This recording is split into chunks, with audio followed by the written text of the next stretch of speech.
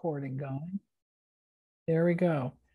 Um, Michael Daly is a special correspondent with the Daily Beast.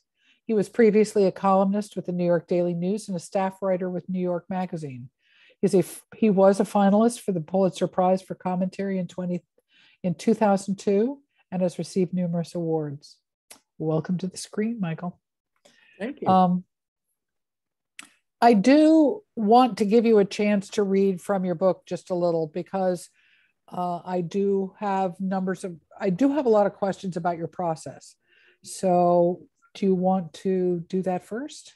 Yeah, I'm going to read. Uh, this is actually, the book begins as my wife suggested it should begin. She was exactly right. On my previous book, she made the suggestion about how to begin, and she was right about that too. So, um, just be sure to speak up if you don't mind. Oh, I'm not good at that. I'll try that. I'm a professional mumbler. Um, winter 1986. Registered nurse Nina Justiniano placed a stool beside the hospital bed where 28 year old police officer Stephen McDonald lay paralyzed below the joining of his neck and head. He'd been shot three times by a 15 year old suspected bicycle thief who had suddenly pulled a gun on an overcast summer afternoon in Central Park five months before. The last bullet had been fired directly into his face, nicking his right eye as he was sprawled on his back. Bullet fragments and bits of bone still impinged on his spine at C2, the second of the seven cervical vertebrae. That is the connection a hangman seeks to break. Stephen remained unable to speak or even breathe on his own, and the whoosh, whoosh, whoosh of a Bennett 5200 ventilator filled his room on the 10th floor of Bellevue Hospital. The facility's chief doctor had decided that he would be better off dead. Stephen had been offering the same conclusion, repeatedly mouthing four words that Nina had lip read when she first began caring for him I want to die. No, that's not happening today, Nina told him, because I don't make money off dead bodies. You die, my check is cut off. Stephen had done something he would not have expected to do, even if he were able. He laughed. Today is not the day, Stephen, Nina had continued. You're not going anywhere. You're going to stay right here with us. But Stephen had soon fallen back into hopelessness. Nina had feared she was going to lose him despite her best efforts. People die because they lose the will to live, she would later say. Stephen was at that crossroads. The whoosh, whoosh, whoosh was now joined by the sound of Nina pulling the privacy curtain closed after setting down the stool. She summoned Stephen's wife, Patty Ann McDonald, who was 23 and had gone from three to seven months pregnant since the shooting. Nina was 34 and figured from her own experience as an expectant mother that the baby's movements would have become pronounced enough for her plan to rescue Stephen from despair. Lift your blouse and put your belly to Stephen's face, Nina would remember telling him. Patty Ann got on the stool and leaned over. Her face appeared above Stephen, just as in the vision that had come to him moments after the shooting, when he was bleeding and losing consciousness, silently pleading to God not to let him die. Only her face was eclipsed by the swell of her tummy. It was warm, tautly soft against his cheek. And then, yes, he could feel it, all the more vivid in the absence of any other sensations. That's your baby, Nina told him. Stephen mouthed a reply, My baby. He kissed Patty Ann's tummy. Look what you do, Nina teased. That's it. That's the wow. beginning. Very powerful. How how did you how did you pick these particular subjects? Did you get to know the people? Did you was it just how did it draw you in? I knew Stephen. Um, he had a mutual friend who was a priest, Father Michael Judge. He was a fire chaplain. Oh yeah. And uh, he introduced me to Stephen, and um, I knew the story. I mean, the whole city knew the story when he got shot, and they came to know him when he got shot, and then at the christening of his baby was born, the son was born, the baby that I talk about was born when Stephen was still in the hospital. And after that moment when he felt the baby against his face, he was um, asking himself, you know, I'm telling himself, I'm going to be a father. What kind of father am I going to be? And then he would think that he couldn't throw, play catch, or run around or do any of the things he thought he would be able to do as a father. And that made him angry. But then he's filled with anger and decided, I don't want to be an angry father. And then he couldn't figure out what he was going to be. And that was swishing around in his head. And then Nina's telling him, let go of that hate, Steve, and that'll poison you. And at the same time, Michael had taught him the prayer of St. Francis, which is to forgive, essentially a prayer of forgiveness. And that's going all around. And then when the christening is approaching, uh, he announces that he wants to forgive the kid who shot him. So at the christening, he mouthed a letter that Patty Ann wrote down that she then read aloud at the christening. And uh, he said that my badge is a badge of compassion, and I forgive the young man who shot me uh, with the hope that he goes on and does something with his life. And that was not the most popular move in the history of the New York City Police Department, but it made a big impression on the people of the city. And actually, when he was um, transferred from the hospital to the airport to go off for uh, rehabilitation, um, all the roads were lined with people wishing him luck and waving and crying. And then with the cops, the test kind of came when there was a young police officer who was shot and killed when he was sitting outside the witness to a drug case. At his funeral, Stephen, by then he learned to, he was in a motorized wheelchair with a ventilator on the back, and he learned how to steer it by blowing into straws. And uh, it took about two hours to get him into his dress uniform because you had to figure out how to raise take the, you know. Michael, you may need to you may need to repeat that. Repeat that okay. because your your internet stalled. Oh. About getting into the uniform. All right, so it took forever to figure out how to get him into a dress uniform because you know you got to move his arms and move him forward, and you got the ventilator, and they finally figured it out. It took him a couple hours, so they got him in his dress uniform. He insisted he wanted to be in his dress uniform, and um, and there was a line because of the this young kid, the way he got murdered. There were maybe five thousand cops all lined up down the street, all in dress uniforms with white gloves, and he went down. Went down the line, and um, someone started clapping and then someone else. And then all you heard was this, this kind of muffled clapping with these white gloves. And like 5,000 cops were applauding him as he went down.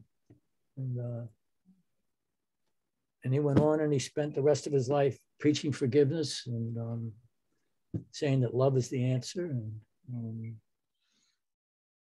was on a ventilator for 30 years. He died five years ago yesterday. Yesterday was the fifth anniversary of his death.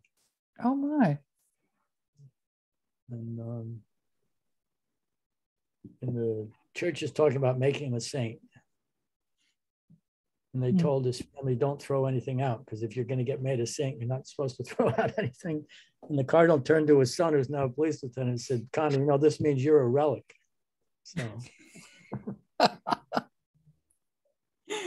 is, is it a complicated process to become a saint these oh, days? Oh, unbelievable. It takes yeah, it is. I think I think they'll make him actually. I think he'll be. Uh, he'll be well, I'm not Catholic, but I think there's miracles involved. And this guy is definitely. I mean, the um, there are a lot of things in his life. He, he used to say there are no coincidences; there are only God incidences. Like he saw meaning in in whatever happened. And uh, tell me about the nurse the nurse that's Nina Justiniano, who is, she's what you call a piece of work. She, um, she grew up in Harlem uh, in a tenement. There was a constant leak on the bathroom roof, so she used to have to go to the bathroom with an umbrella. And um, the father was a drunk, abusive drunk, who kept a half a $20 bill. And when he came home and he said, I didn't drink up all the money, I got this. And then he would always thought that was a big joke and he'd laugh. And when she was about 10, she started going to meetings for children of alcoholics. Um, and then around that time, she went to the African American Day Parade in Harlem and she saw these lines of these kind of very proud, erect women in immaculate white marching all down the middle of the street. And she said to herself, That's going to be me. And they were from the Harlem School of Nursing. And she went to school, and the guidance counselor told her, There's no way you're going to ever be a nurse. But she kept studying. And she passed the exam. And she was about to become, join the new class of the Harlem School of Nursing when there was a city fiscal crisis and they shut down the school. And then so she applied to St. Vincent's Good Catholic Hospital Nursing School downtown. And they told her that she, her marks were great and everything, but they needed a picture. She had an idea what that was, and she kept stalling, and they kept saying, No, we need a picture. So she sent them a picture, and a couple days later, she got a call saying, We don't think you're capable of handling the curriculum. So she knew what that was. Um, then she applied to the Brooklyn Jewish School of Nursing, and probably they never even imagined that a black person would apply there. So they, they let her in without asking for a picture, and then all of a sudden she's there. And um, it's a rough school. It's much tougher to get through than the police academy. I think only like a third of the students got through. Uh, you had to get 100% on the math exam or they wouldn't let you through. Wow.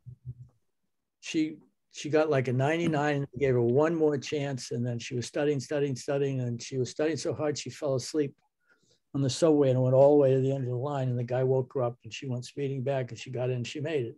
She became a nurse. And she goes to a hospital in Rockaway, Queens, Peninsula Hospital. And one of the nurses there say, uh, well, you must have taken the colored test. And uh, she said, That's right. they have a separate test for colored people. And I got it. Um, and then she, but she loved being a nurse. She just loved it. And um, she was really good at it. And if Stephen was, Stephen was shot by someone who personified the pathology of the Harlem, Nina represents kind of all the really great stuff of Harlem, the resilience, the determination, the wit, the fun. Uh, and um,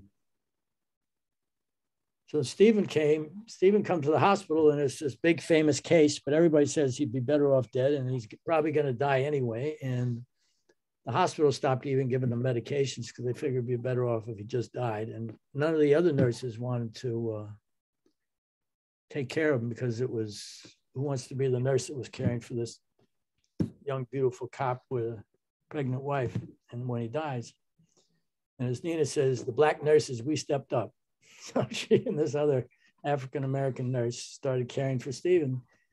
And I don't think she he would have made it without her because he was um I mean, she'd tell him things like, you know, Stephen, you're the perfect friend. You know why? I can tell you all my secrets and you can't tell anybody because you can't freaking talk. He'd start laughing. And it's really kind of amazing what she did for him. And, uh, and then she went on after Stephen. She went on to, uh, one of the other things that when she was a little girl, she'd walk from the tenement, she walked past some of the brownstones in Harlem. And her big dream was someday I'm going to live in one of those brownstones. And when she started taking care of Stephen, the city was in such bad shape that they auctioned off like several dozen brownstones in Harlem, and anybody could put in a bid. And she put in a bid for like 28,000 and won. I mean, she asked Stephen to do this, and Stephen said, go for it. Same way he lip read, I want to die. He she lip read him saying, go for it. So she got it. Um, wow. But it was a really bad neighborhood then. She'd asked Stephen, she said, Stephen, do you think the city's ever going to get better? I mean, is it worth doing this? I can't, my kids can't live there now, but do you think I should do this? And she said, yeah. He said, yeah, do it. She said, the city's going to get better. And um, so she got this brownstone and uh, but she just never got the money together to um, it was actually on uh, Astor Row. It's a famous row of Oh, How's it? yeah. I know where that is. Yeah, and it was on there, one of those. And actually, if you look in the New York Times, you look up Astor Row, there was an article in the 20s talking about colored tenants move on to Astor Row. And the article said that colored people had, they hadn't moved in yet, but they were expected to move in, and that would expect to cause all the white people to leave, which was true. And um, so anyway, so she had this brownstone, and the, the sad thing is that she thought she's, you know, she was all set to move in, and her and her grandson, Miles, who, when he was about 15, he said he wanted to play basketball. And she said, You're not that tall and you're not that fast. Take up lacrosse. You'll get a scholarship with lacrosse. So he became the only kid in Harlem who was playing lacrosse. And he got a full scholarship to Bates College and became captain of the Bates lacrosse team. So Miles, she and Miles and her daughter were all going to move into the brownstone. And meanwhile, they were all sleeping in a one bedroom apartment with the dog. And, uh, and the, but the, she started getting fines because she hadn't been able to fix up the place and it fell into disrepair. And um, the fines became so much she would never be able to cover the fines. And in the meantime, there were all these people who calling her all the time, offering her huge fortunes for these brownstones, figuring they could get her to, you know, they pay her like half of what it's worth. And she ended up losing the place, and the city ended up tearing it down. The landmarks people hated her, hated her. Um, so Astor Row looks like someone, it's like a, someone took someone's front tooth out or something. It's like Astor looks like a hillbilly now. Hmm. Um, but Nina's still, you know, she went on and she actually she for a while she she was at she's working at uh, she worked in the burn unit for a while, which is the toughest place in the city to work because you have to inflict pain on people to make them better. And then she was working at um, the ICU at New York Hospital, and this guy came in and said, "I have a doctor came and said I have a patient who hates hospitals, but he's going to build his own ICU in his apartment, and you want to work there?" And she said, "Sure." And then um, she gets this address. She arrives. She goes in, and there's this building on Fifth Avenue. She goes in. The guy directs her to the elevator. She goes, and the elevator opens directly into the apartment. And to her left is Picasso's Boy with a Horse painting. Oh, my. And she's standing there, and no one's there. And she's walking around. And um, I mean, it's just Whose place was it? Yeah, I'm waiting here. I guess you'll know. The wife was Babe Paley. It was, so it was Bill Paley? Yeah. So the Bill Paley had a private ICU unit in his mansion? in his not his mansion, in his apartment. Oh. It was a full floor, a full floor on Fifth Avenue. And, and did she work, she ended up working there? She worked there, and she she walked in, and um, one of his daughters said to her, "Well, you're lucky he's not awake because he doesn't really like black people." And uh, she said, "Well, it's a good thing he's not awake." That's the way Nina is. You tell her that, she goes, "Well, it's a good thing he's not awake, isn't it?" They made her a fish sandwich. She said, "I don't know where that fish came, what ocean that fish came out of, but that's the best fish I ever ate in my life." And um, she took care of him. And uh, there was a picture of a woman in a nurse's cap, which I didn't know until I did this book. That each nursing school has a unique cap, so you can Hmm. look at a nurse and you know what school she went to by the cap. Nina said, "I don't recognize that cap. I mean, where that? Who's that nurse?" And the daughter said, "Oh no, that's my mother. My father likes nurses, so he had to dress up as a nurse." And there was a framed picture of Babe Paley in a nurse's outfit next to the bed. Her being black wasn't an issue, that she knew that he didn't like black people, and did he ever, did she ever feel? wasn't conscious. He wasn't conscious when she went in.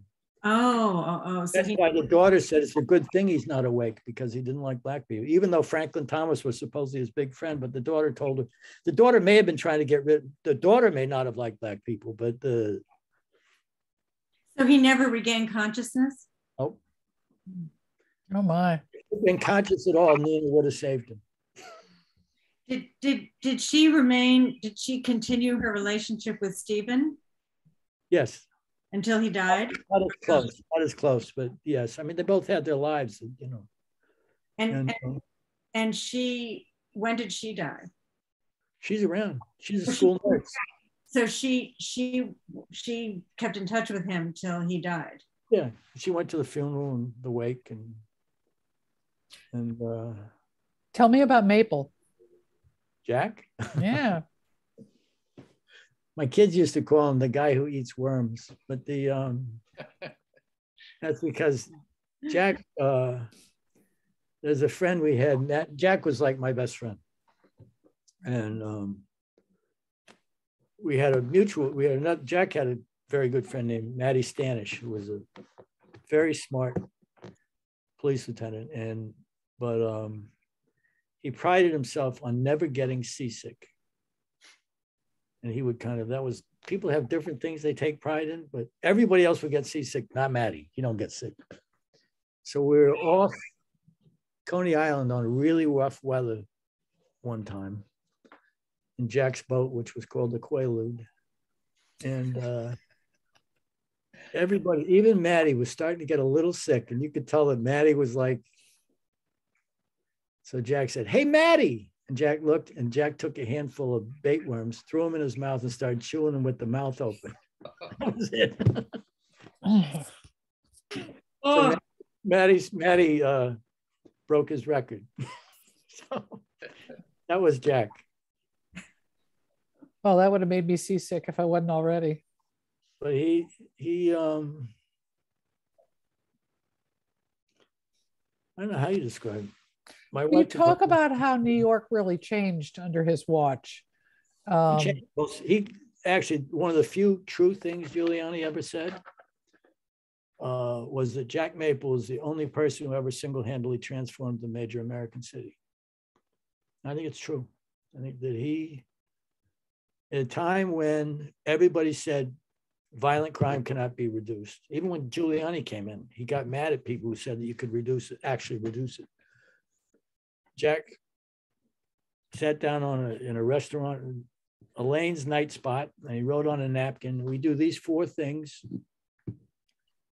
We'll cut violent crime in half in two years. This is when everybody said it couldn't be done at all. And that's exactly what happened. what period of time is that, Michael? This is in, uh, what's that, 1994? Because I can remember going to Times Square when I was a kid, and it was just you just didn't go to Times Square ever by yourself. Um, and it just transformed over a period of time. And now I really like it the way it is now, where you can walk all over it.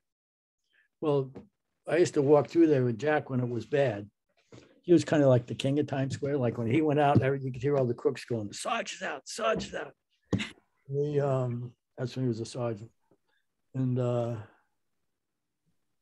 he used to say he'd be we'd be walking around. He'd say, "Someday, people are going to come back here. Families are going to come with their families. The people in night clothes. It's going to be Emerald City." Everybody go, "Yeah, Jack, sure it will." He said, "No," he said, "No, I'm telling you." And the the, the Candler building, I think the Lion King or something is playing now, was completely vacant. And we used to go up towards the top, and there's a little balcony there, and we'd sit there and have coffee. And he would talk about how he was going to transform Times Square and the rest of the city, and it was going to be easy. And You mentioned the four things. What were they? uh, let's see if I can remember. I'm a little punched out today. Um,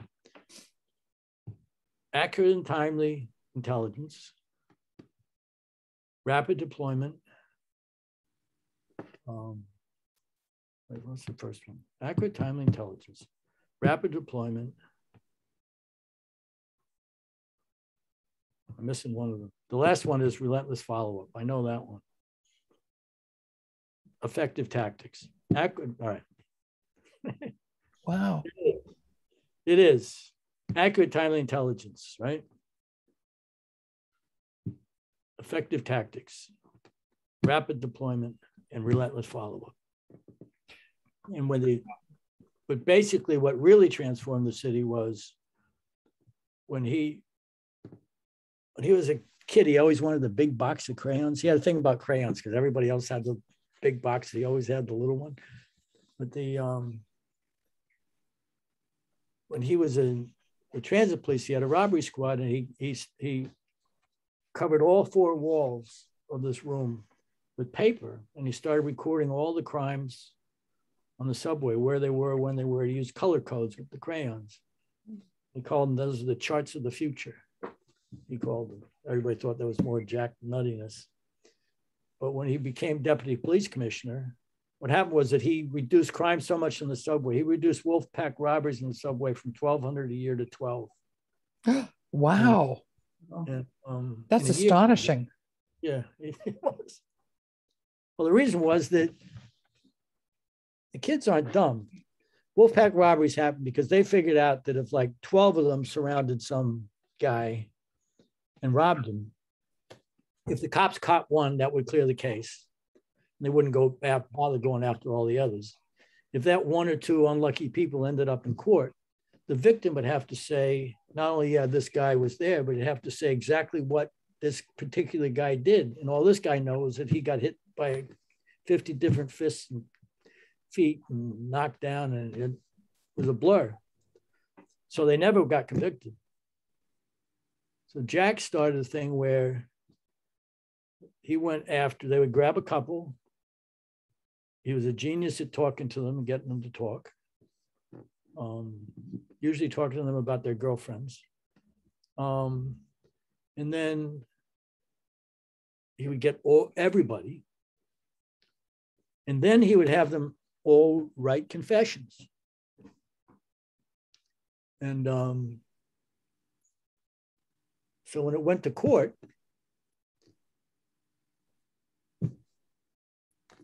the guys he's got all of them they're written confessions. Doesn't matter what the victim says. That's it. And then he started decoy squad where they could end up grabbing them all. The decoy squad actually was, it came, Jack had his different uh, agendas all the time. And there was this police woman he really wanted to be with, named Elizabeth. And he figured the only way that he was going to get her attention if he showed her what a great cop he was. So he got this decoy squad but he said he would do it only if he could pick his own people. And they said, okay. And then he said, well, I have to pe- pick people who look nothing like cops, right? Such as Elizabeth. so Elizabeth ended up in the decoy squad, and then they ended up getting married. And then uh, they had a son who's now a detective in the warrant squad. And um, and of course, Jack being Jack, they ended up getting divorced. Um, but it, the nice thing about his wife is that, I mean, his son, is that when the son became a cop, headquarters called me in a panic and said, What was Jack's shield number? What was Jack's shield number? I said, Why? I said, Well, Brendan, that's the son, put in for this shield number, but it doesn't match what we have for Jack's shield and they couldn't figure out. They were all in a panic. So I called Brendan and he said, Well, that's my mother's shield. they assumed that Jack Maple's son would ask for his father's shield because Oh, wow. father. And um, that really, you can imagine what that did for Brendan's mother, Elizabeth. Michael, does, does he, does the son look like Jack? Exactly. You Really? looks like I mean it's so when I went to the graduation, he's about this he's about the same age as when Jack and I became close friends. And he's wearing a uniform and a maple tag. I mean, not only that, Brendan just had a baby, and before he had the baby, he sent me the sonogram. The sonogram looks like Jack. Look at that sonogram and go, that's Jack Maple. Maybe he's been reincarnated. It's possible. Yeah. um, So tell me about how, go ahead. No, go ahead. I was just gonna say, I knew when I was walking through the new Times Square with Brendan, and you know, there's one little area that's like a nature preserve. There's like two junkies and one pickpocket, and so we're walking. He's walking. Brendan's walking past there, and this guy comes up and goes, uh, "This is right after Brendan became a cop, and he's with his future bride." Guy goes, "Coke, coke, coke." Brendan goes, "Coke, yeah. What else you got?" Guy goes, I got heroin. He goes, Oh yeah, what else? What else you got? What else you got? He goes, I got meth. He goes, Brendan goes, Look what I got. And he pulls out his shield. the guy almost expires.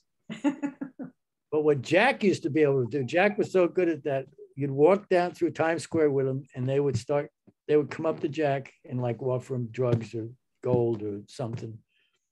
And Jack would just look at him and say, I'm not who you think I am. And then you could see it in their face. And he said, I am who you think I am now. And they would go, Good night, officer. so Brendan's almost there. The um yes, he's a good kid. He's a good kid. But Jack was uh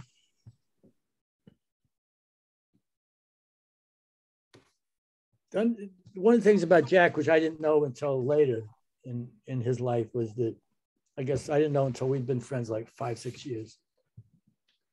His maternal grandmother, his mother, his maternal grandmother was a deaf mute in a time when there was a lot of prejudice against deaf mutes. And she ended up with an Italian guy who used to beat her and call her a dummy. And she actually met him in a dance hall because she couldn't hear anything, but she could feel the vibrations and she loved to dance. So she would dance to the vibrations and she was like kind of extremely beautiful. So this guy married, not married her, he took up with her, had two kids with her, one of whom was Jack's mother. Um, and he used to beat her. And then the day came when she chanced into a guy she had met, a fellow deaf mute she had met at deaf mute school, who was working as a typesetter at the Brooklyn Eagle because a lot of people in the printing presses were deaf because the sound didn't bother them. So Hmm. they ran off together. And Jack's mother taking along Jack's mother and Jack's aunt, her two daughters. And then jump ahead in time a number of years. One night, all of a sudden, Jack's grandmother, this is before Jack's birth, she's suddenly ill.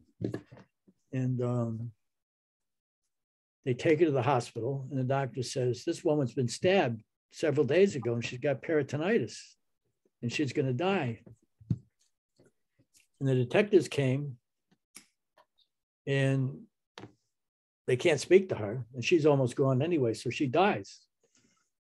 And Hmm. Jack assumed that the person that did it was his biological grandfather.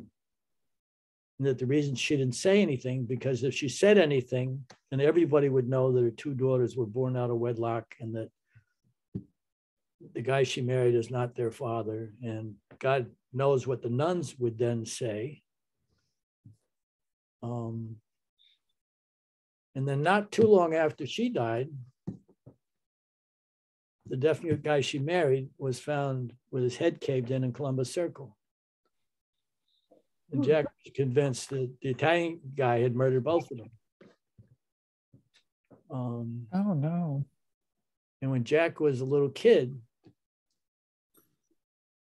Jack's mother and father had a falling out from which they never returned when the father happened to find out that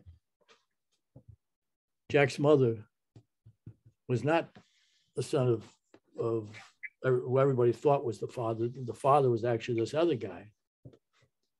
And he, for some reason, sought out the other guy and then came back and told Jack's wife that I, I sought out this other guy and he's in the hospital. Jack's mother, being a good Catholic girl, feels she has to go visit him at the hospital. Um, and she took along Jack and never told him it was a grandfather. And Jack thought knew it was a hospital and knew there was something really off about this guy. And he later decided that it was a hospital for the criminally insane, but it turned out it wasn't. It was just it was this horrible guy. And so anyway, so all that stayed with Jack. And um when the when the grandfather when the when the mother grandmother died, when his grandmother, the definitely when she died, the Brooklyn Eagle by chance ran a whole page of crimes those two weeks. They had little dots for each crime, numbered dots, and then a little thing about each crime. Number seven, I think, was Jack's grandmother. Um, I'm sure Jack at some point saw that, but anyway, when he started, when he became deputy police commissioner, he started something called CompStat, which every crime was recorded with a dot. And Jack's theory was that you should treat every crime as if the victim were your grandmother, that every crime is important, that every crime should be investigated. And that principle kind of changed the whole city because for the first time, the cops treated black on black crime as seriously as they treated black on white crime no matter what neighborhood it was. So always, if you got robbed on Central Park South, the cops would often at least try to find someone who did it. If you got robbed on Junius Street in Brooklyn, tough luck. What Jack did is when he started this CompStat thing, he called in, let's say, the commanding officer for the precinct for Junius Street. He'd call him in, and all the robberies on Junius Street would go up on the screen. Jack would say, "What'd you do about the robbery on those robberies on Junius Street?" And the cop, being a cop, the commander, being a cop, lied and said, "I'm gonna call the robbery squad." And then Jack said, "Oh yeah, who'd you talk to?" Oh, busted. Oh yeah, what day was that? Tuesday. Call the robbery squad and see if Ginty was working Tuesday. And the guy goes, "You know, I, I might have talked to Garrity." But the next time he'd actually done something about the robberies, and that changed the whole city. And so CompStat, everybody has thought of it as like this is a way to it became people came to think of it as this is all about numbers and statistics and all that. It wasn't that at all. It was just a question of those dots and making sure everybody addressed those dots as if the victim were your grandmother. That's all it was. Mhm. After Jack left, he was forced out. Him and Bratton were forced out by Giuliani. And after Jack died, people who didn't understand CompStat kept it going. They had to keep CompStat going or else crime would go through the roof. But they didn't understand the basic principles. So they started using it as a kind of a personnel management tool. So instead of just making sure crimes were addressed, they started measuring how many summonses cops made, how many stops, how many arrests. And it became, it led to stop and frisk. Jack had Oh, it generated stop and frisk because they didn't understand. Jack always said there had to be fairness involved. The other thing, the biggest argument Jack and Giuliani ever had was Giuliani would go, crime goes down, arrests go up. And Jack said, no, crime goes down, arrests go down. That's the way it's supposed to go. But if you're out there constantly just stopping people and frisking and, and stirring up everything, then arrests are going to go up. But meanwhile, crime, murders did keep keep going down. Um, as a transit cop, the city cops used to treat him terribly, you know, condescendingly. They used to call him the Oak Police because if you met a girl in a bar and, you, and she said, "Oh, you a cop?" and you said, "Well, actually, I'm a transit cop," and they would go, "Oh," so they call him the O Police. And the um, the O Police would. Uh, get treated terribly by the city police. Jack never forgot that. So when he was dying, he said to me, I'm going to keep effing those city cops for 100 years because they're going to have to keep doing CompStat because if they stop, crimes are going to go through the roof. And um, crime did go keep going down because they kept using content. It went to like less than 300 murders a year. So you went from almost 3,000 to less than 300, which meant you had 2,700 people walking around the city of New York who otherwise would have been dead. Um, Wow, good heavens. In 10 years, that's 27,000 people. Well, it's really visionary that he came up with that. It is. It is. I mean, he, Um, he, I had to push him to take the lieutenant's test, and he, he took it, and he scored so high they thought he must have cheated. So they made him take it again, and he scored higher, which got them completely nuts. Um, he was he was just brilliant. He was just he um Talk a- talk a little about your uh, writing process, Michael. Are you one of those people that binge writes the whole thing and then sort of comes up for air, or are you do you write in pieces or certain time every day or outline or what do you do? How do you how did you write this book? I'm also I'm one of those writers who also has a day job. Well, yeah, th- that does exist. Yes. as the many of us generally have day jobs and um, so you kind of grab what time you can which is time you really probably should have spent with your family but the um, uh, this book i mean i took a couple of times i took time off i took a couple of weeks off here and there Mhm. um, I just grabbed whatever time I could to do it. And it, this was a little easier than it might have been because a lot of these are stories that I've kind of knew or told in the past. It's really kind of a collection of uh, years of covering police in New York. Right. And then to write, kind of preserve some of my favorite people. Like there's this woman, she's Josephine Baker, the dancer from Paris. And one day I'm in, I'm with Jack, and when I'm talking to this subway cop, and she tells me that her aunt was Josephine Baker and that she grew up in a chateau in France, and a million people went to her aunt's funeral. And I'm sitting there going, okay, okay. And then it's Vertel Martin. I go, all right. So I, I happened to go by Coliseum Books. Remember them when they were Sure. So I go in there, and there happened to be just by coincidence a biography of Josephine Baker. I open it up, and there's a picture of from the kitchen of the chateau, and there's little Vertel in the kitchen. It's true.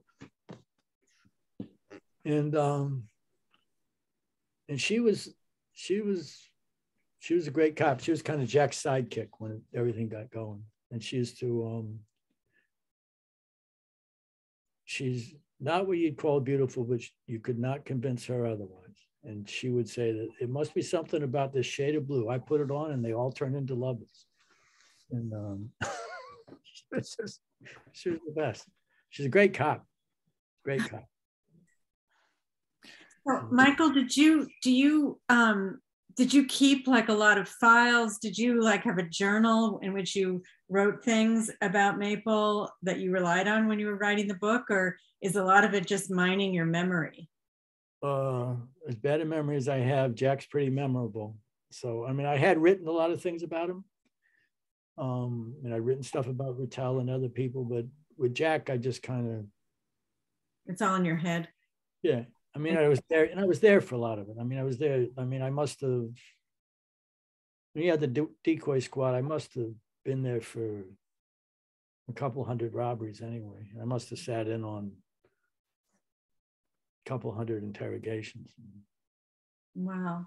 Um, Yeah, but your attention to details is remarkable. I the the the things that you remember. I mean, even in telling your stories, without even getting into the uh, the nitty gritty of the writing of the book, just the things that you remember do go into quite a bit of detail. And so, either your recall of these um, events is astonishing, or uh, you you sort of journaled them along the way. Is that some of my work was kind of a journal in progress. I mean, columns. that's that's kind of what I'm driving at is just the bits and pieces that you then pulled together. Dick Babcock edited some of them. That goes back a long ways, a long ways. does. Or Richard Babcock, excuse. The um, But did you have to do additional research on top of your own memory of events or? I had- yeah, I mean, with with Nina, I had to. I spent a lot of time with Nina, and uh, I didn't really know Nina um, until I started doing the book. I really got started to get to know Nina at Steven's wake, Hmm. and um, and after I talked to her a little bit at the wake, and then I talked to her a bunch of times after that. So you're writing this book and you, I mean, how do you, with, with all of the stories and the, the volume of information that you've gathered, how do you know where to stop? Um, I mean, how did you, how did you tie it all together? I mean, did you just say, hand it to an editor and go, what have I got here? No, no. You know, it, the funny thing is, I I always wanted to do a book just on Jack, but I couldn't sell it. And then I wanted to do a book on Steven, uh, and I couldn't sell that. And then this editor, Sean Desmond, who's in the Irish Writers Group or Readers Ah. Group, Reading Group, um, very nice fellow.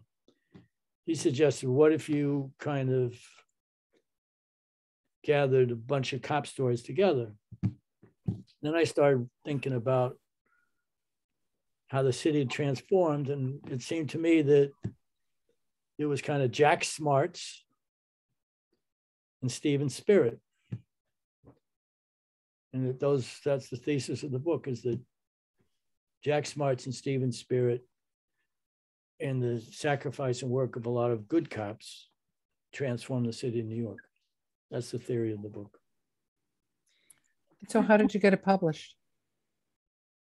Well, I, I knew this guy, Sean Desmond, from before. I'm trying, I'm trying to remember how I knew him from before. It's one of them, you know, Irish telegram things, I guess. I mean, I don't know, you know. The, um, I, I always ask that question because everybody has a different different way of getting their book into print and it's often i mean like any industry it is your friends introduce you to friends and then you find but you write for a living anyway so your circle of people has to be you know based very in words I'm, I'm fortunate in that regard. I mean, it's, it's a little tougher now. It used to be you go for lunch and get a book contract. right mean, Well, I know So- established writers. I mean, congratulations on getting a published. I said this to Joya as well. Um, getting a book published nowadays is not at all what it used to be. I mean, just to sort of interject that uh, numbers of people have come to me that are A-listers and basically said, you know, they had to really, this time they had to struggle because uh, if you know what life was like on my side of the book industry, where I could not get a copy of Make Way for Ducklings, the little kids book, for six months last year because of printing delays, paper shortages, queues in the print line. Um, i- it's really pretty astonishing to say. Rose Beranbaum, who's a very famous uh, chef, wrote a book that was to come out in October because all the cookbooks for the holiday season come out in October. Uh, her book was stuck on a boat somewhere. And so her pub date went from October of 2021 to October of 2022. And she Oh. cried. So you you know there's there's just so many of those stories that every time I hear of a book being published and that people are reading, I'm thrilled. I am thrilled. I think, you know, people ask you, how's the book doing? I mean, the answer really ought to be, it got printed. There's a lot to be said for that. And I really do think that word of mouth is huge. I know little independent bookstores really do. We talk it up all the time. You know, what are you reading? What's good? I mean, you know, there's there's books coming out all the time that people have never heard of if it hadn't been for a small independent bookstore going, this is awesome. Uh, you don't really, nobody hears of it. Or I a like few it too. people do. Every once in a while, I'll get an email from somebody who read a book that I wrote that I, you figure is just forgotten. And then it's very nice. You'd be when- surprised. kind of out there. It was it was really nice, Michael, to see that beautiful um, review in the Wall Street Journal. They really appreciated everything you did in the book, and uh, that was really great. And I wondered how much you paid them to write it. One and um, also, I wanted to ask, Clearly shameless. Twelve dollars. what how much? 12, Dollars. That's the going price. can't even get lunch for that anymore. I had to pay extra because it's the first time the Wall Street Journal ever used the word love. So, What? The Just- first time the Wall Street Journal ever used the word love. really? Hmm. So, so I wanted to ask you also, um, what's been the reaction from the police community on the one hand? And have you heard from any of the defund the police maniacs who are out there? That's a great question. I haven't heard from them, though I, the local bookstore, the community books, went down to see if they had authors events. And the person there said, uh, what's it about? I said, well, it's how the NYPD saved the city. And I got this eye roll. That's uncalled for.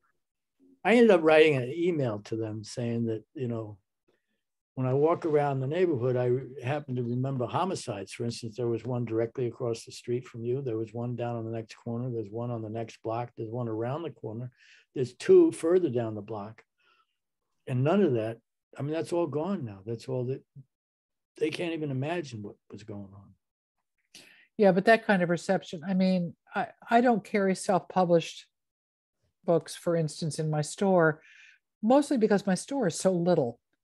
And so what I do with the self-published people is I let them, when I were having some kind of a fair in downtown Bethel where, you know, people are wandering the streets, I let them take a table outside and do kind of Oh, do their own thing. I mean, That's but nice. that's the only way that I can really kind of put my money where my mouth is and, and support my community. Um, but to take somebody's effort and just be that dismissive with it is exceptionally rude, and you should never have to put up with that. Did, did they respond to your email in any way? No, No, just it no. fell I into a bet they didn't. No. And it, but you know, I, I don't know, the, the opinion that I was most worried about was um, Steven's family. Mhm. Um, I knew, I was pretty sure that Jack's family was going to be okay with it. But Stevens, you know, it's, it's funny. The thing about cops is you can write a thousand things uh, positive about them. If you write one thing that's not completely positive, then they go, that freaking Daly knocks us all the time. the, um, so I mean, it, and it just emotionally, um, I didn't want to upset Steven's family. I mean, you can imagine what they. I think Steven's wife and and most particularly his son, who's this very intense. I mean, his whole life has been his father's in a wheelchair, and the. Um, I was over there when he first became a cop, and I'm there, and then Steven's in the wheelchair. Conor's going out. Conor's the son. He's going out to work, and there's Steven in the wheelchair going, "Think safe, think tactics." And Conor goes, I will, Dad. you know, and then, you know, you jump ahead to uh he was in during the, the riots following the, the demonstrations following the George Floyd thing. You know, he's standing there and there's he's standing next to I don't know if you read about the cop that bought boots for the homeless guy and it went viral in Times Square. He, he, with his own money, bought boots for this homeless guy, and that became a big thing. Kind of standing there.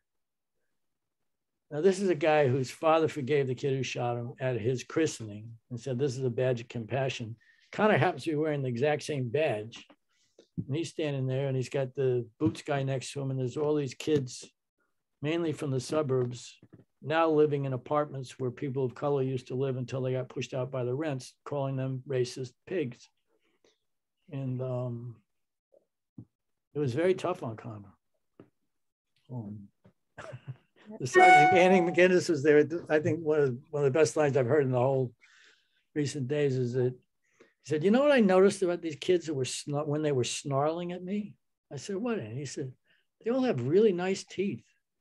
He said, "They must have great orthodonture." He said, "My kids' teeth are a mess, but these kids, I'm just so they're they're screaming racist this and all that at him, and he's sitting there going, "Boy, you got really nice teeth." the um, Wow.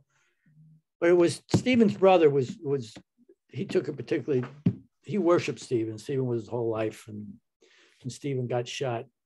He's 15 years old, Tommy, and he goes running in and Steven's lying there in the hospital and went, don't die, don't die, Steven, don't die. So Steven, the only thing Steven could move, he winked. he winked at Thomas, and that was his way of saying, I'm not gonna die. So and Thomas went on and became a cop, and he had some very tough experiences. And when I was talking to him for the book, him I had talked to because I hadn't talked to him. He, he's not big on reporters, and it was not easy to get him to talk to me. But after I did talk to him, he said, "You better do this right." dot dot dot. And then um, after the book came out, I got a text that said, "You did it right, like I told you to." That's nice. That was that was the best review I could have gotten. Have you, have you heard from McDonald's widow? Patti Ann, yeah, she's fine. I mean, she, you know, she's she's had some serious health problems recently, so. Um, uh, but I think she'll be okay. Um, she actually before that these problems she got COVID when they can't they canceled the St. Patrick's Day parade when the COVID was just first hitting. So they had one small contingent, so you wouldn't break a perfect record of X hundred, whatever, how many years it was. So they gave her, the sergeant lent her a whistle to uh, start the parade, and she got COVID. And I got no, I have no doubt that she got COVID off that freaking whistle. Yeah. The, um, I don't know. Patti Ann, I think it, it's just the whole thing's tough for her. I mean, to to read of those times when you know Nina's telling you to put your belly against his face and then he can feel the baby and then and you go through 30 years of um, people people think you know you get paralyzed and that's it you just don't feel anything from the neck down i mean steven had first of all, you can't weight so you're in constant agony where You're breaking up, you Michael. Can feel is where your head meets your neck, and so that's constant agony, and you can't electronic electrically. But night, they would essentially they would tie his arms down at night on either side of him. It looked a little bit like he was uh, crucified. Patti Ann talked about sometimes she would stick his head in, it- stick her head in at night, and he's lying there with his arms tied down, with his head to the side, looking peaceful. So you go through your whole life of that. You know, Hard to imagine. And the um, and as Conor said at the funeral, my father, the kid who shot him, was named Shavod Jones. Conor said at the funeral, my father had to forgive Shavod Jones every single day. So it isn't like I forgive you and then okay, everything, you know, you think about like a play yard thing where you say, I forgive you, okay, everything's good, you know. Every morning he still woke, woke up, paralyzed from the neck down, unable to breathe on his own, Right. in agony. Um, And, and the kid did not end up well, did he? Now the kid got out and got on the back of a motorcycle, and the kid popped a wheelie, and Shavod fell and broke his neck. Oh my. And and actually, uh, Steven took that really hard because he thought that they were going to be able to go around together and preach forgiveness and and uh, and Conor, who was in the third grade, he was in a good Catholic school, so every morning you announce your intentions. And he said, I would like for everybody to pray for the young man who shot my father, who died yesterday. Um, so Conor has that in him. Mhm. Um, and uh, But that's that's that's a large load for a kid to carry is sort Oh, of keep I mean to to carry on when your father's been paralyzed and and try and uh maintain and become the standard bearer for the family. I mean that's that's a lot. No, it is. And it's, and you know, he, he said to me once, um, I wish I had a sibling. Because he has nobody to share the experience with. It's just, that's him. And, uh, and there's- the- they couldn't have another kid. Um, so he's, it's, thank God he married a very nice woman. She's like really warm and like steel at the same time. She's like worn steel. Like she doesn't, you know, she's just, she's really good. And um he's funny, you know, Steven loved to dance. His favorite thing in the world was dancing. That killed me. I was at a party once. I think Brona was at the party too. We used to go to this Christmas party where Steven would be. And everybody was dancing. And then I'm standing there with Steven's wife and we're watching the dancing. And she just turned to me and she said, you know, Steven loved to dance and uh, and he did, and he was, you know, Nina taught taught him how to move his head, got him moving his head, you know, said, you know, white boy, you got the rhythm off, you know, you got to get to the beat, you got him going. And he spent hours in the room, you know, bopping to the. He could only move his head about a half an inch, but she got him doing that. And one of my great images of him was at the on his last Christmas, his sister threw a big party. She got a heated tent on the back deck where the whole family was there. And um, they were, Steven's favorite music was the Quadrophenia, The Who, the album. He just loved that. They were blasting that. Then the heater gave out and everybody was freezing, but Steven wasn't ready to leave. So they threw blankets on him. this big pile of blankets with these just eyes sticking out and his head just still moving to the music. That was Steven. Your intention in writing the book is for us to know these people. Yeah, the um, It's really more of a it's it's, know it's a them, but broader question, but you know, but I mean to know them and to know what they did and what they've done and the value of what they've done and the value of who they were. And they're both dead. Um, I was there when Jack died. Um, actually, his wife said his, his wife, his second wife, is a police lieutenant, and she said, "I don't want to call anybody." So we she cranked up the air conditioner. We sat there for about six hours, and then finally she said, "Do you think we're going to get in trouble?" I said, "Bridget, I don't know. You're the police lieutenant. You can imagine what happened when you call up and say former deputy commissioner Jack Maple's dead. I mean, the whole police department went nuts. And then Steven, when he was dying, uh, Conor had groups of people come in and all join hands and pray together. And all the cops who would work for Steven as drivers and with him and loved him and everything, they put their shields on his chest. And um, it was a, it was amazing, you know. And Conor, Patti Ann and Conor were Patti Ann Steven's wife. They were they just brought in all these groups of people to all be with Steven in his final moments.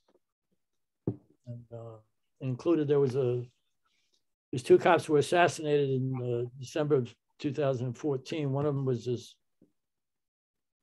was named Lou.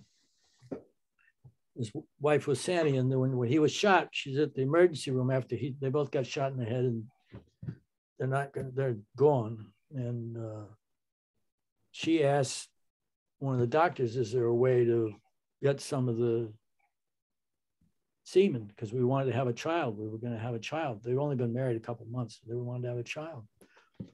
And so the ambulance on the way from the hospital to the morgue made a stop at a place where a doctor did what he had to do. And they kept it frozen.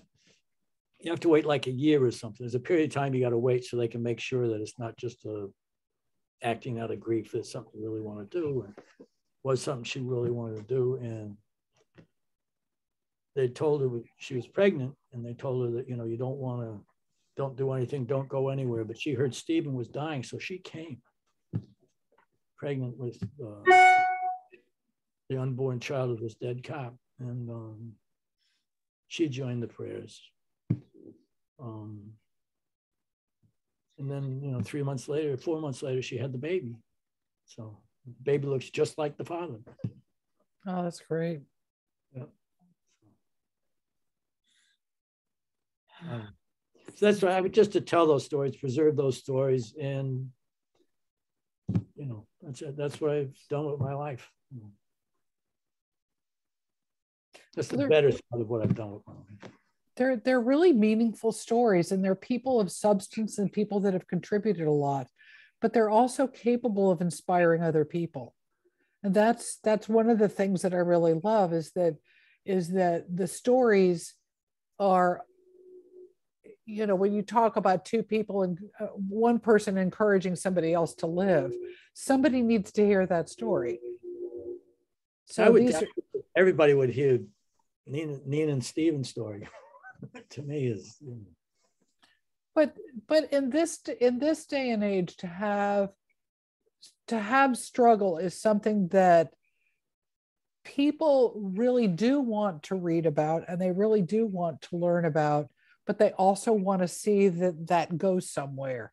I mean what i'm seeing people wanting to read and wanting to have they don't mind that it's difficult or that it's hard to uh, to to hear some of these stories, but they do want to hear it move forward, and that's what I think. One of the things that you can offer people with this book is the fact that there were full and rich lives despite uh, it being so difficult. Yeah, I say Steven in particular. I mean, uh, well, and and and Jack yeah. too. I mean, if you think, you know, Jack when he was 23. A guy he tried to arrest a guy, and the guy grabbed his gun, and the guy had the gun. Jack had his hand around the cylinder, thinking it would stop the gun from firing. And the guy was stronger than him and got the gun right in his face. Jack could feel the cylinder start to turn, so he knew he was going to get shot, and he moved it the last second, and the muzzle flash burned Jack's cheek. And then it swung back right into his face. And then it started moving again. So he pushed it the other way and he got a muzzle flash burn on the other cheek.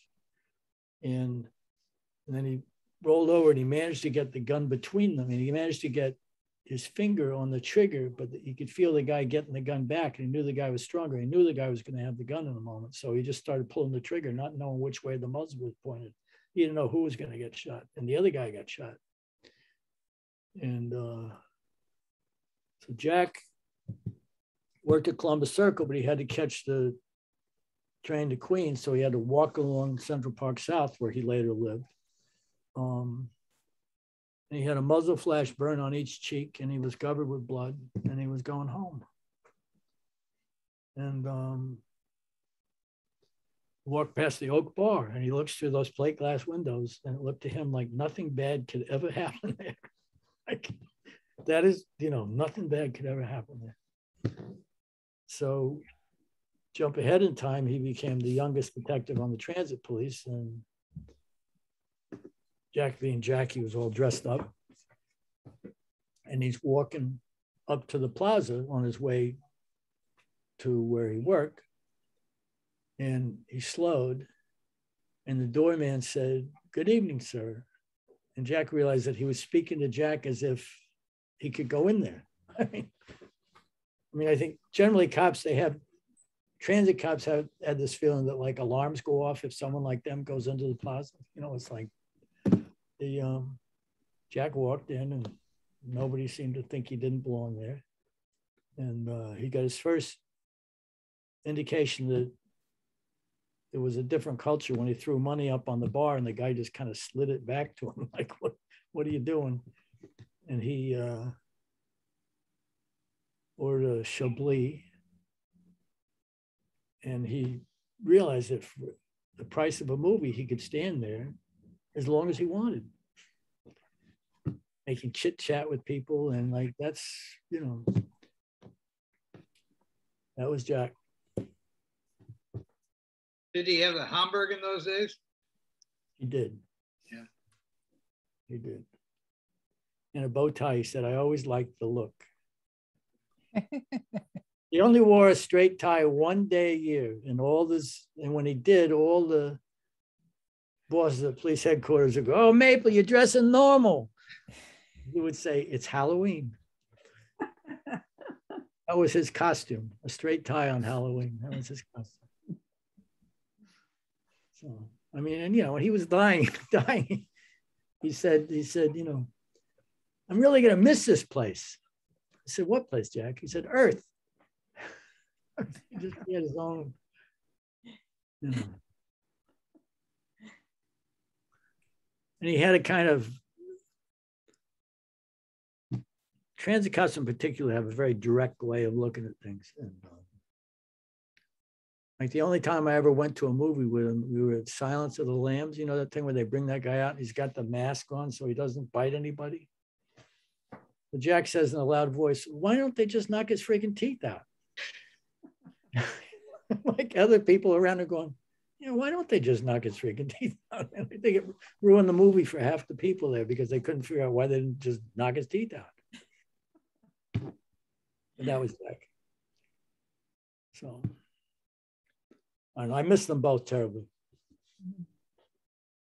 I can tell because your stories are really, you know, they're very, uh, very personal and they're very, you know, you you seem to be a little wistful about it. And it's, does it make it easier for you or more difficult to talk about?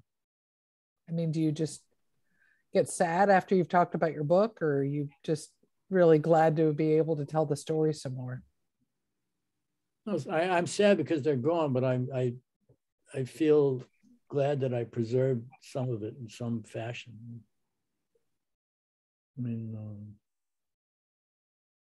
I mean, you know, if someone didn't know anything about Steven McDonald, started reading about him, then they might, you know. I've tried to write, do the book in a way that anybody who read it would end up knowing both of them.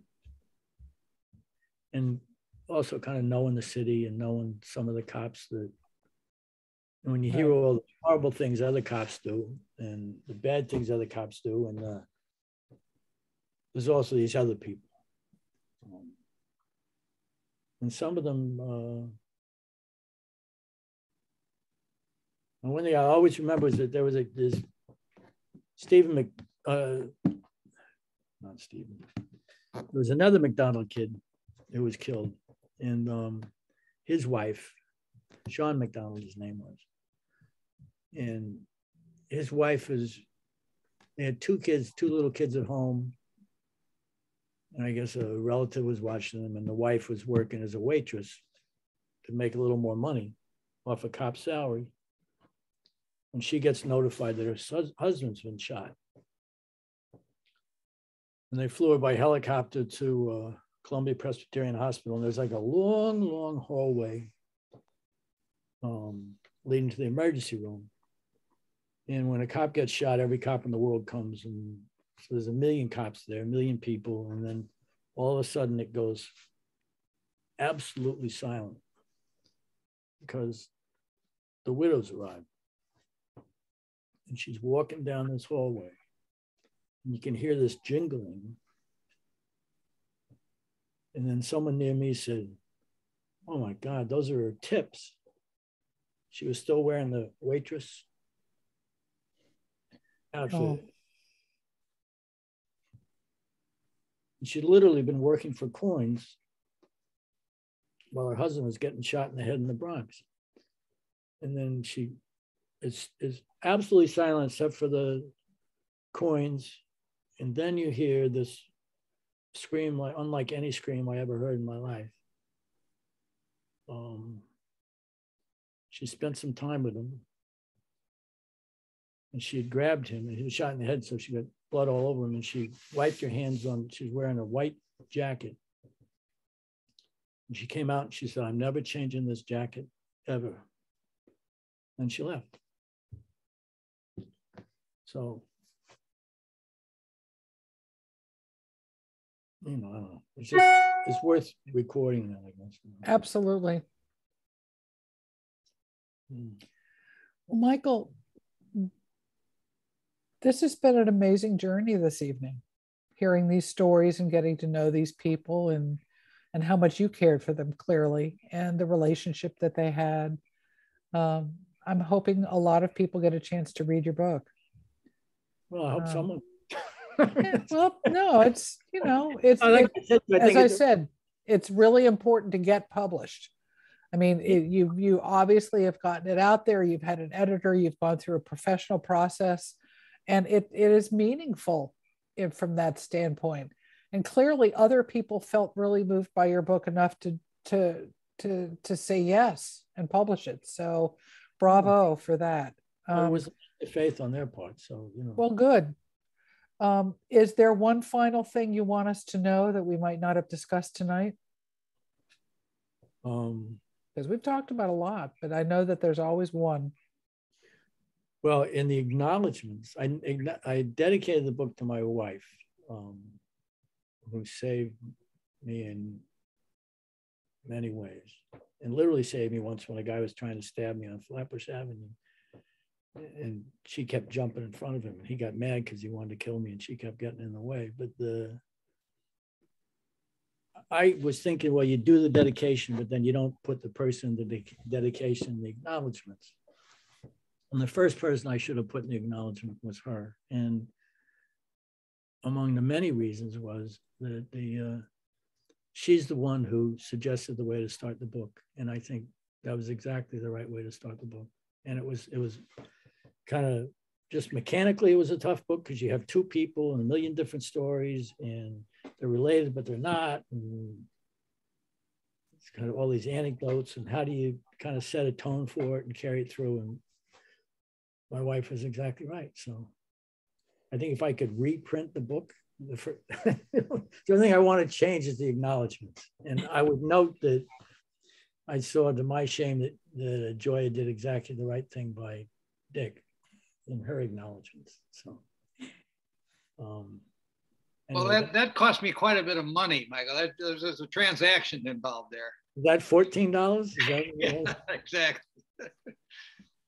anyway? Thank you for having me. It's very nice. of you. It's So, been wonderful. It's been a wonderful I gotta get evening. And it was great to get to know you. I really got do some. appreciate the time and the and the, uh, Once the the effort. uh, plague lifts, I'll see you up there. That it's a deal. I Absolutely. Stay in- noticed on the train that the train. Are we frozen Trains- here? Train stops right in Bethel. Yeah, I saw that. Yeah, so So absolutely come up. I will. Thank you all for joining in tonight and the questions that you asked. They really enriched the evening. So Michael, we'll talk soon. I hope so. Take- Wonderful book. It's a wonderful book, Michael. Oh, and by the way, Richard Babcock came and rescued me at the end with uh, giving it a read and, and an edit. Well, it, it is, it, it, long before I was there, it was a wonderful, wonderful book. Best editor I ever had. Congratulations. I think Tanya feels the same. Congratulations on the publishing of your book. Thank you. All right, take care. God bless. Bye-bye. God bless. Bye bye.